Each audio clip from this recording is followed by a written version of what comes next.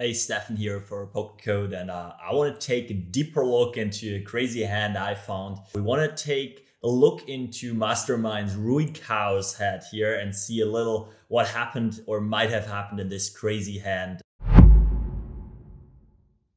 And there's me, so you're Yeah. not too bad. and there's me too, and everybody knows me. There's like meat. Is it? No. Three six. Bro, why do you have so many hands? Why are you always ruined? Okay, If Tom can win this hand with 7 deuce, Yeah, now I have many fans. 10k bounty from everyone. Now I win one title. Wait, wait, wait, he didn't even go yet. I yet. won. Today. Oh, everybody's drunk now. Okay. Yes. First Triton title. No shit. Yeah. But it's my fourth title. I mean, 3 bet and a call. Pre-flop, we have the following action. Tom Dwan open raises from the cutoff, uh, three times the straddle of super standard uh, with seven deuce off. So I'm assuming they play a special seven deuce off game. And uh, Rui Cao decided to uh, three bet his seven eight off suit on the button, playing his position uh, with a kind of a standard size, uh, with everyone else folding. But um, yeah, Tom taking his chances with seven deuce off and see a flop, and take a chance to outplay Rui. So let's see a flop.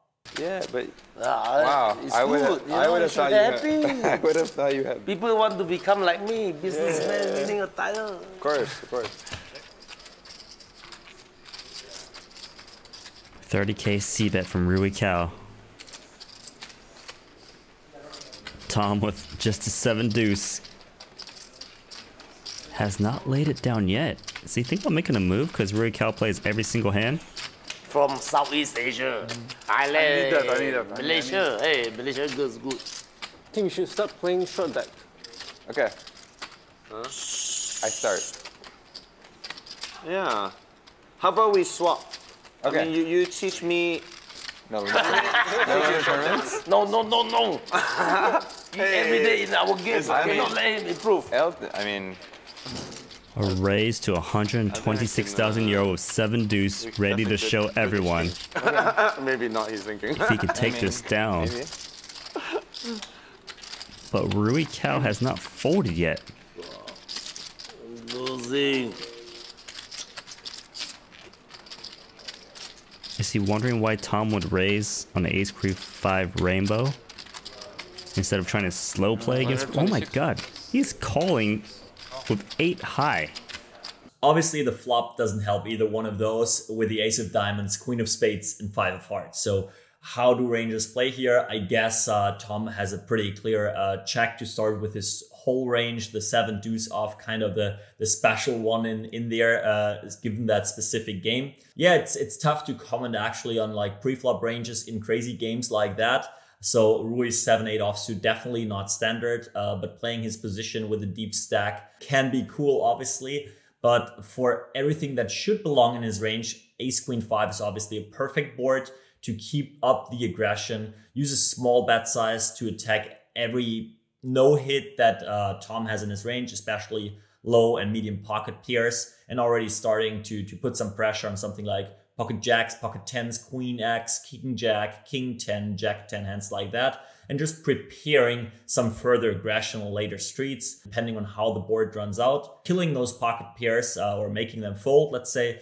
Um, lots of turn cards will be a brick, which is actually good for Rui, holding all the ace queens, ace kings, pocket queens, aces in theory. So Rui goes for, for a small bet here and uh, Tom decides to fast play his seven deuce offsuit here and goes for the check raise, followed up by a call by Rui Cao. Where is that coming from? We have seen some crazy action on the flop. Standard C-bet followed up by a seven deuce off fast play here on ace queen five rainbow. So now we want to take a deeper look into Rui's mind here. He is obviously sitting there with nothing, nothing.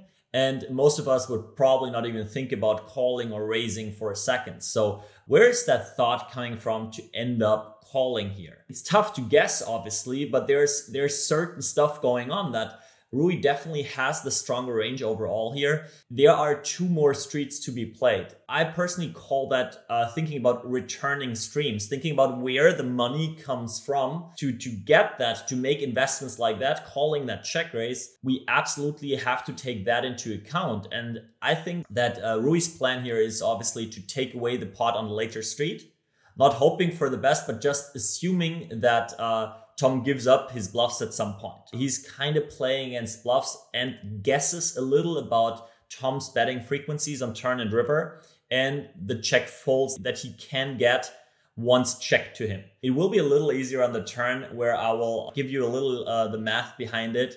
But now let's first see a turn. I don't understand. And the turn is an ace. We have to play 10.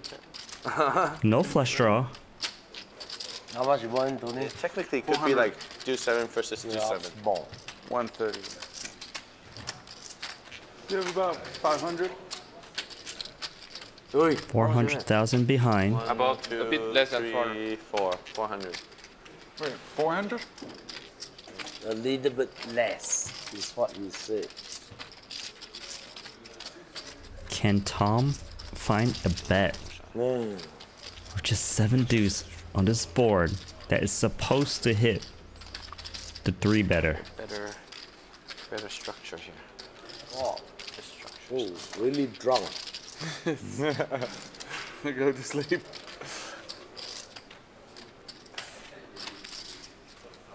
Oh my, he's reaching for chips. Hmm? Start shooting all ins. Elton, you should start to do, do a few all ins. Do it for all ins? Yeah. I've been trying. I've been trying. I just need a couple of do sevens, you know? Like, Even yeah, in dry have to- yeah, for the new seven. yeah, you said that already.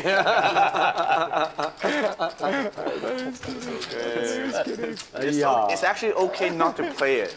under the It's gun. not. It's not that big a disadvantage. Yeah. under the gun. Yeah. Yeah. That Half pot play. bet.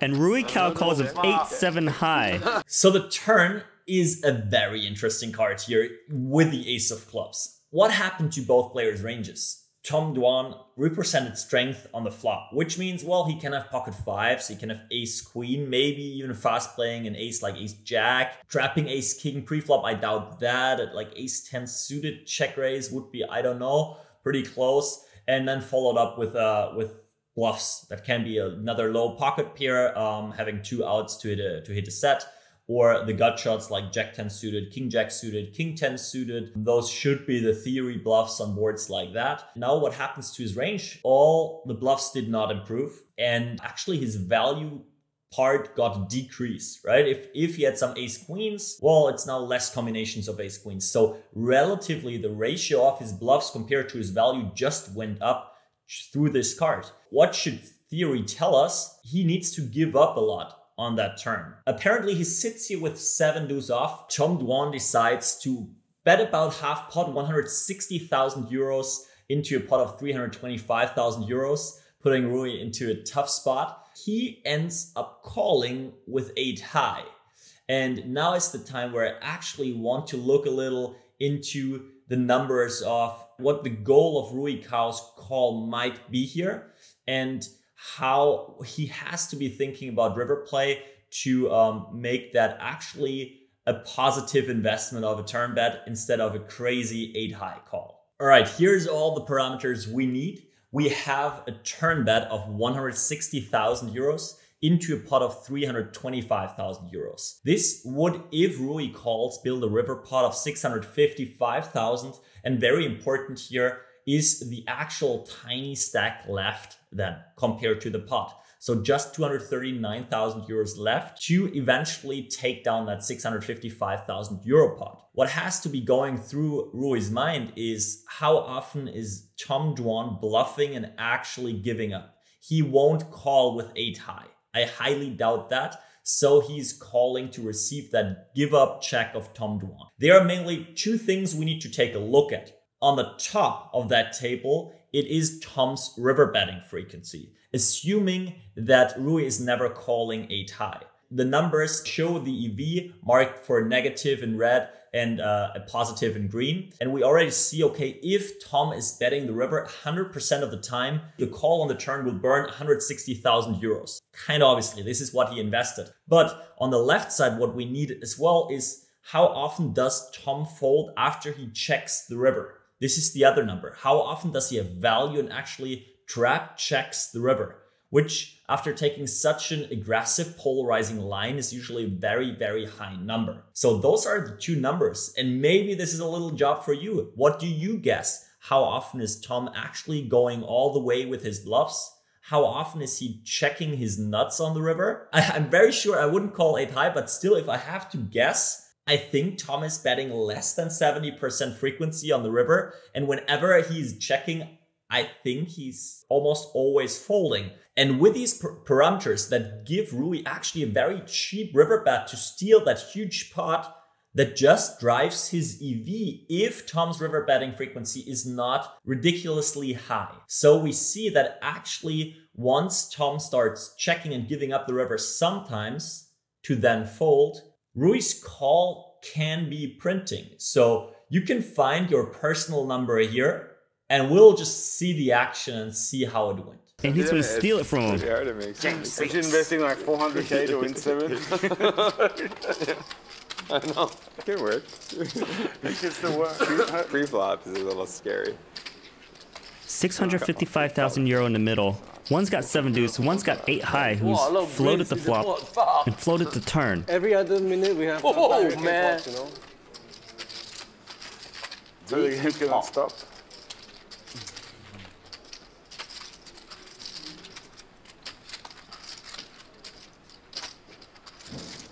Now it's starting to get tense in here as they realize what's going on at the table. Can Tom fire one more time? He gives up. Gives the pot to Rui Cao. Double checks the cards.